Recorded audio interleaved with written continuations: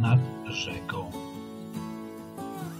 Gęste płatki śniegu, jak kosmiczny pył, błyszczą promykami wschodzącego słońca. Przybrane szronem drzewa, srebrno-sine chwytają drobiny zmarzlin, malując niespotykane obrazy. Świetlisty obłok promieni, odważny złocisty mors, odbiciem w tafli rzeki odbywa zimową kąpiel.